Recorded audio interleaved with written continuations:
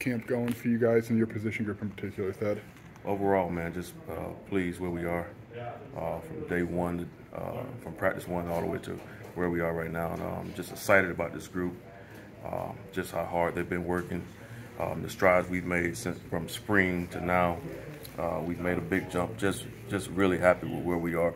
Um, I think we're trending in the right direction.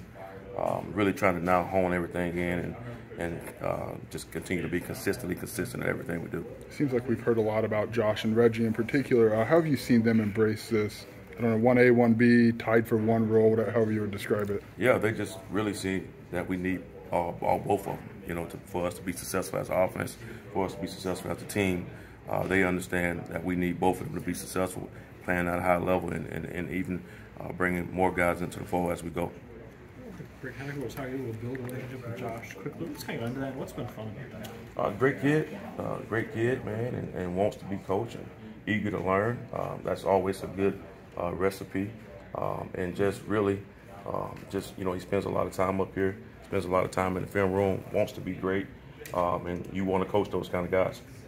I know I don't think Greg Hunter was using a rotation like you got about Josh Mosher. What do you like about the prospect of doing that with different guys? I think it gives you a chance to keep fresh guys in the game, you know, and and, um, and so guys can play fast and, and, and, play and be at their best at all times. I think iron sharpens iron. As these guys uh, really compete against each other every single day to make each other better, and they play off of that. What kind, if any, of buy-in is required of those guys to kind of understand that by, by committee approach? Absolutely, they they they bought in. They bought in holistically to that, um, and they understand, you know, that we need each other. They need each other. They're competitive. They're friends on and off the field, um, which makes it even easier.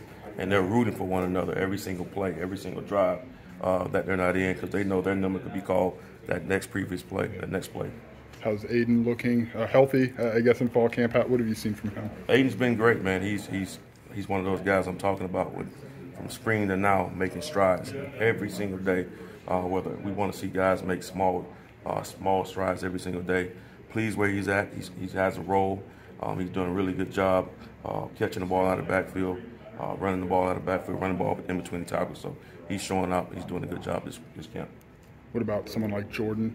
Um, I'm guessing similar, but how does he complement, especially Josh, given they're kind of similar physically? Yeah, uh, you know, we like all different type, types of flavors here in the, in the running back room, and uh, Jordan brings another element where he does catch the ball good out of the backfield, um, but he's able to run the ball in between the tackles, a big load, and he finishes in a dominated position, and, and so he brings that every single time.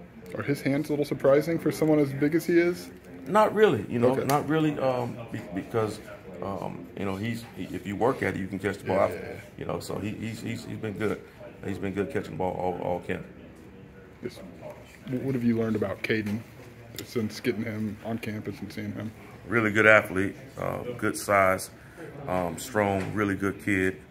It's important to him. Yeah. He has all the intangibles. He, he he's going to be a really good player for us. Um, just just how he uh, goes about his daily routine um, just the kind of kid you want to coach. Um, and every single day, every single practice, he's making jumps. Um, and and um, I've been pleased where he's at. He's had a lot of success this camp, and uh, look forward to continuing it. What's the process of, as a coach to not let him get overwhelmed? I mean, you're a freshman coming from 1A high school football to, to the Big Ten. Like, how do you kind of guide him and navigate him through that? Really, just be here, be where your feet are, understand what you're doing, and and and that uh, I put something, uh, go, one of his goals for this, this training camp is his first training camp on the Division One level. You know, embrace the unknown. You don't know, right? Just embrace every single day, um, one one step at a time, one drill at a time, uh, one meeting at a time. Just take it all in uh, and enjoy the process. And up to this point, he has and uh, I hope that, and I know he will continue to do the same. My last one is like, when you got here, did you look at 21 Josh McCray, or did you just blank slate it? And if so, what are you seeing out of him healthy? I, before I got here, I saw a little bit, uh, obviously from before, um, but I blank slated everything. Okay. Uh, you know, I want to see where you are now, where you are today, where you are in the present. Um, that's how we're going to form our opinions off of everything. And, and, what I've seen, I've been pleased. He's he's playing really good football right now he's made huge uh, jumps from now, from the spring to now. Uh, he's, he's playing at a high level right now. I want to keep that going and keep making steps with him.